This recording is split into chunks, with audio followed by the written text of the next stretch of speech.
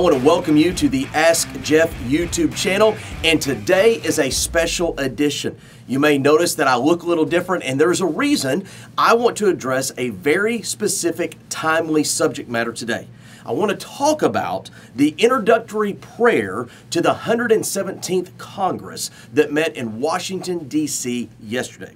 What you're about to see is a clip of a representative from the fine state of Missouri offering up his prayer to start the 117th Congress. Watch this. Now may the God who created the world and everything in it bless us and keep us. May the Lord make his face to shine upon us and be gracious unto us. May the Lord lift up the light of his countenance upon us and give us peace. Peace in our families, peace across this land, and dare I ask, O Lord, peace even in this chamber now and evermore. We ask it in the name of the monotheistic God, Brahma, and God known by many names, by many different faiths. A man and a woman. Now let's talk about what we just saw and heard.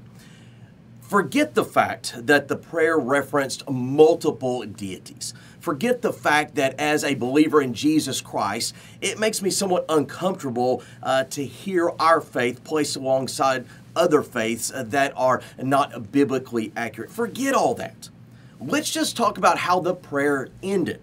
He concluded by saying, Amen and a woman.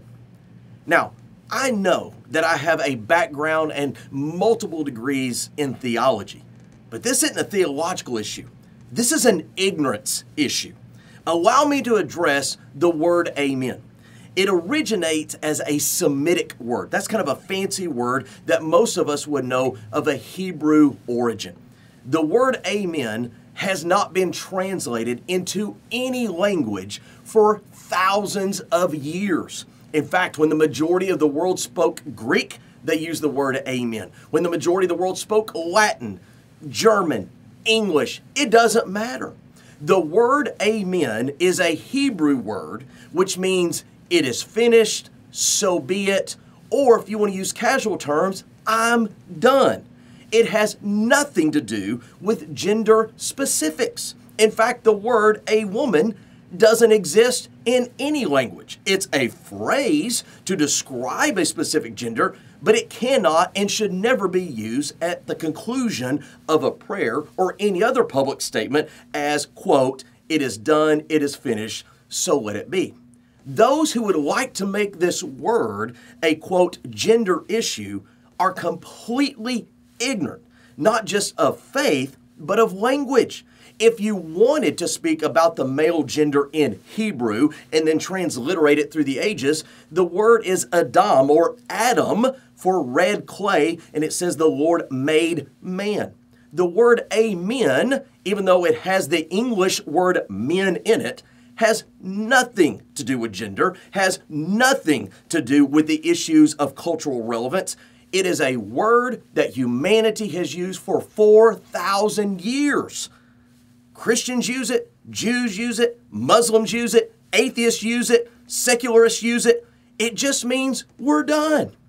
And for someone as a representative, not just of Congress, but humanity, to equate this word to the agenda of, quote, gender neutrality is not just a travesty to the Bible. It is a travesty to the language that we know as English or language in its history. So, today, very special edition because I had to highlight the ignorance that we discover in our world today when it comes to taking whatever our personal agenda is and making sure that it is pushed forth not only at the demise of specific faiths and beliefs, but even to ignoring basic tenets of language, communication, grammar, syntax, etc.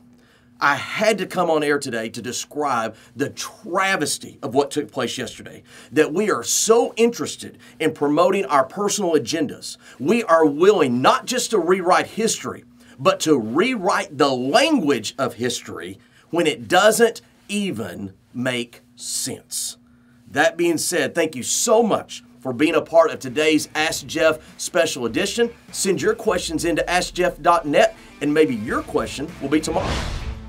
Thanks for being a part of today's daily question. Now, we answer a question each and every day. Please feel free to submit a new question at AskJeff.net. We may not have gotten to yours today, but we eventually will continue to be a part of this. Subscribe so you don't miss out on a question every day.